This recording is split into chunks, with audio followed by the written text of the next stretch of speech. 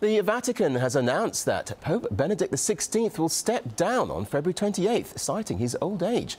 The 85 year old will become the first head of the Catholic Church to resign from the post in nearly six centuries. Let's get more on this now from RT's Tom Barton, live uh, in the studio for us here. Uh, Tom, he was only appointed in uh, 2005. What on earth's going on? Why is resignation now? Well, Kerry, yeah, a real shock. I think uh, the small army of journalists and Pope watchers, as it were, in Rome, even they, even they have been uh, taken aback by this sudden announcement today. It should be noted that Pope Benedict XVI was one of the oldest popes uh, to be elected when uh, John Paul II died uh, in 2005.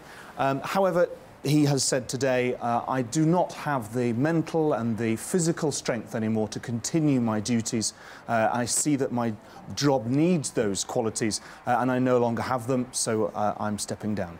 Now, his time at the Vatican has been marred by a string of scandals, hasn't it? I mean, tell us about that. It has indeed.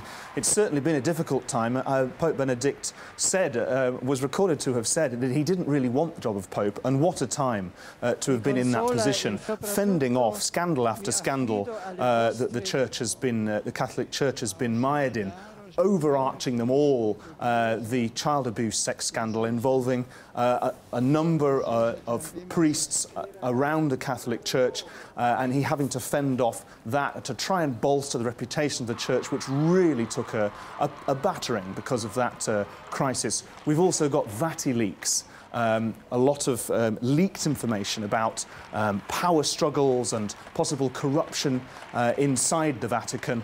Um, the Vatican itself responding angrily to that, saying that the media uh, was trying to play uh, Dan Brown, the, the, popular author who wrote the, the novel Angels and Demons, sort of insinuating that kind of thing going on inside, inside the Vatican. And then we've got uh, the Vatican Bank itself, allegations there that that bank may be connected uh, with, with dodgy bank accounts to the Italian uh, mafia itself. So a really difficult period to be Pope. Um, Pope Benedict II, the, the uh, 16th, also trying to, as well as bolster that reputation, try and modernise the church a bit, had his own uh, Twitter account, got a, upwards of a million uh, followers, However, big questions will be asked in the coming weeks um, when, as the new Pope is being chosen, about who should lead the church, the church uh, and about the future of the Catholic Church in this great time of troubles, as the Pope, the outgoing Pope, has said himself.